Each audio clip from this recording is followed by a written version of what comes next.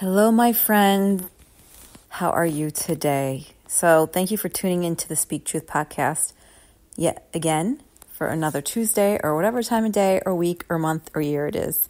And I just want to share with you, my friends, I am a 40 something who lost her way and has now found her way to serve Him and help my brothers and sisters find their way back to the truth. I found the way, the truth, and the life. I was once lost and now found. My mission is to lead my brothers and sisters back home to God and His kingdom in heaven. Seek first the kingdom of God and His righteousness. Matthew 6 33.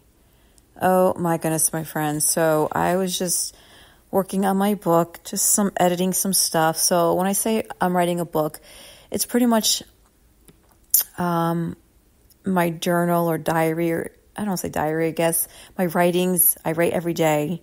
So whatever I'm feeling, you know, I read a meditation or it's on my heart, an idea, thought, I just kind of write.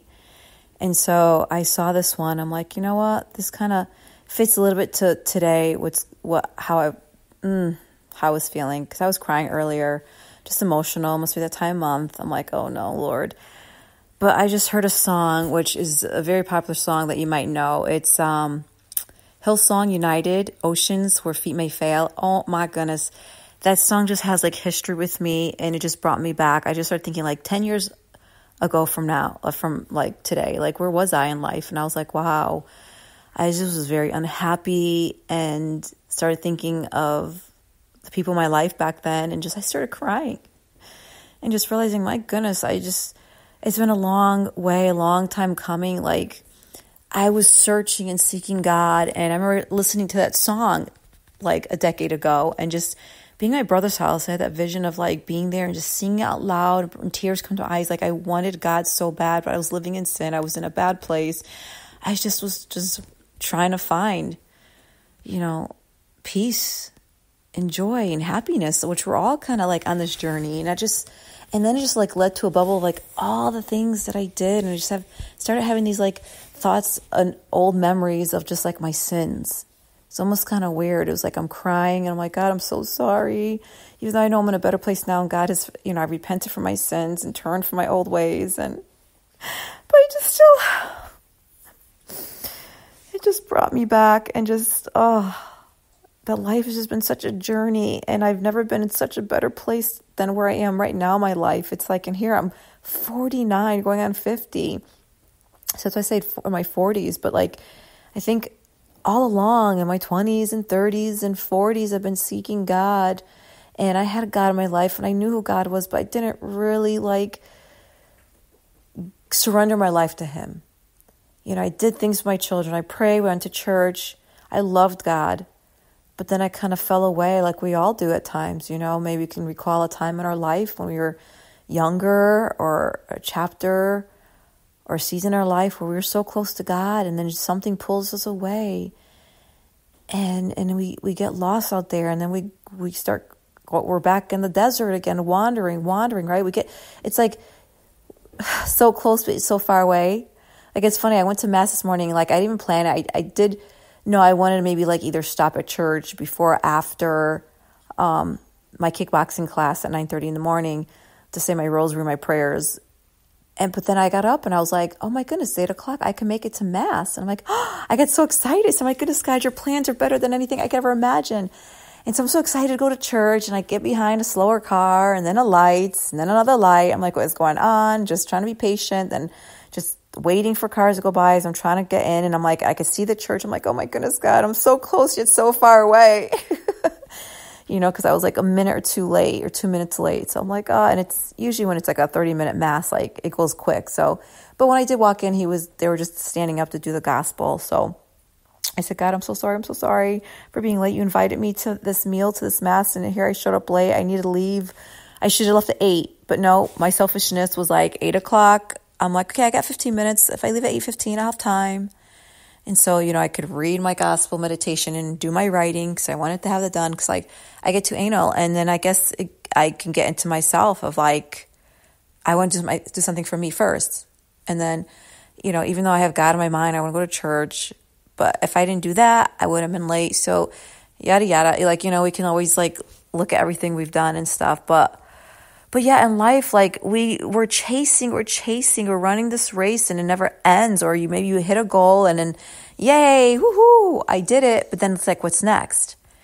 And then we're just always chasing and chasing the next goal, the next thing in our life, and just in a constant like battle of like just running after the next thing and just getting caught up in the world instead of just taking a step back, taking a deep breath, and relaxing and slowing down. Slow and steady wins the race, you know? But then why does have to be life be a race? It doesn't even have to be a race. Just let's live life and slow things down and let's just walk and enjoy the moments of life. So I had a flashback just thinking, like, you know, I mean, right now, let me ask you, like, it's, you know, as you're listening to this podcast, it's recorded, it's aired 2024. And, but either whatever year you decide to listen to this, just think 10 years ago from where you are. Where were you in life? Was it good? Was it bad? Was it struggle? Was there pain? Was there suffering? Was there dryness? Was there emptiness? Was there loneliness? Despair? Joy? Beauty? Like, where were you 10 years ago?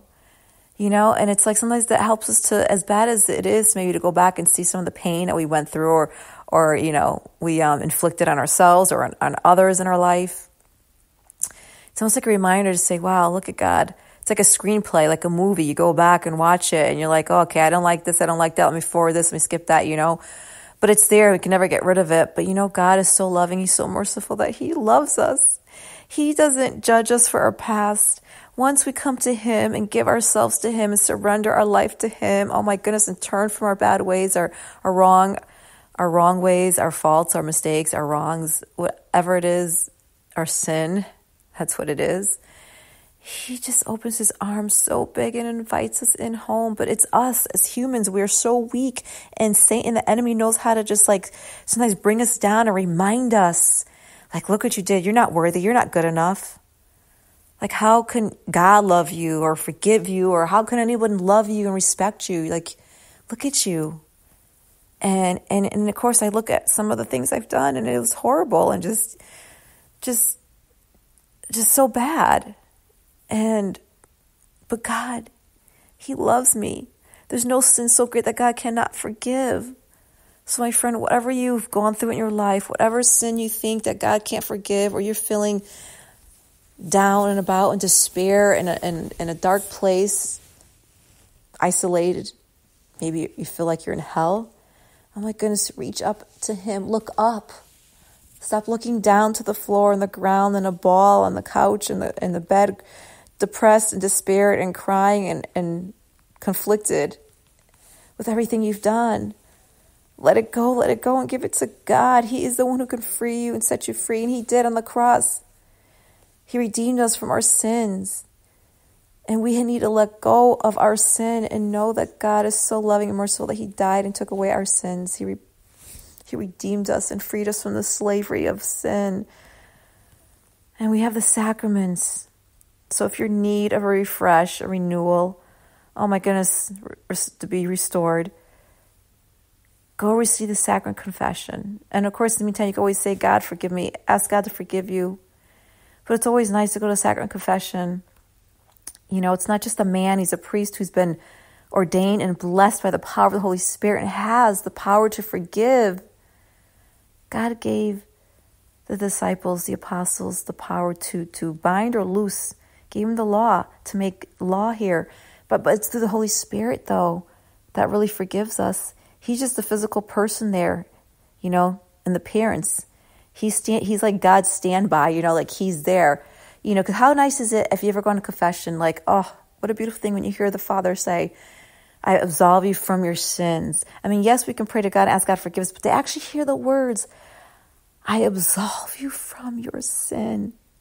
That is the Holy Spirit speaking through them. Just like we we as Christians say, God, use me, let me be let me be your vessel, your instrument. Let me share your word. Well, God, the Holy Spirit, through his power, he, abs- he absolves you from your sins with those words by the power of the Holy Spirit. I absolve you from your sin, and it's a beautiful thing. And then when you can receive the sacrament of Holy Communion, oh my goodness, the power in receiving our Lord, body, blood, soul, and divinity. My goodness, my, my friends, just like, oh, this morning, just beautiful. just beautiful, beautiful. I cry all the time. When I receive our Lord, it just, oh, I thanked Him so much. It's like, even though I'm showing up like physically, but I'm like, God, you called me this morning. You invited me here to the table plenty. Like, I am nothing without you, God. It's you. All the good that I have comes from you, my God. Everything good comes from Him. Whew. So, my friends, let this let this episode be a reflection. You know, to to not put you in a bad place, but to remind you if you're in a better place today, or maybe you're still on that journey, you're still trying to find your way, that this will give you hope that there is an end to your misery, my friends, and it starts right now. You don't have to wait months or weeks, you know, like a diet to lose weight or, or to learn something or to build something. Like right now, in this moment, this instant, God will heal you, He'll forgive you, take away your pain, your sins from you. But you have to reach out to Him, you have to call out to Him, you got to look up to Him and say, God, here I am. Here I am. Take me as I am. I surrender everything to you. I give you everything that I am. I give you everything that I am because I am nothing without you. I give you everything because it was you who created me and made me and molded and shaped me into the person I am today. I am nothing without you, God. You breathe life into me.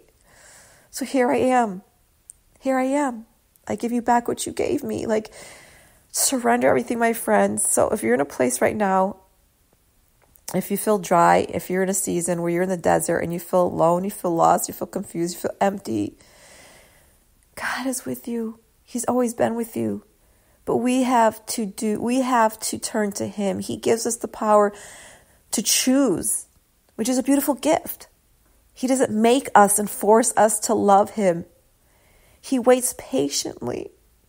He walks patiently with us by our side, even though we think we're abandoned and neglected. He's there by your side and wants to comfort you, and He wants to embrace you with His love and His mercy and His compassion, everything that He is, and tell you everything's going to be all right, my child. Everything's going to be all right. I love you. I forgive you.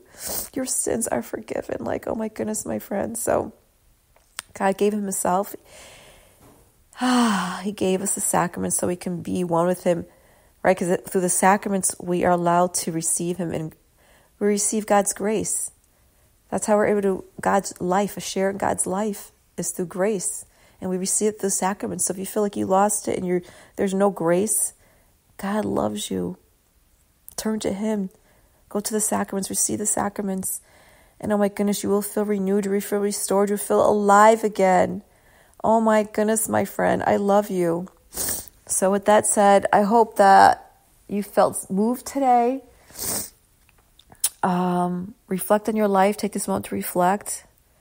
Um, you know, think about where you are in life, how you got to where you are, and where, where you're going next in your life. And that no matter what happened yesterday or what's happening now, God is with you always and forever. He is with you. He was with you yesterday. He is with you today. And he will be with you tomorrow.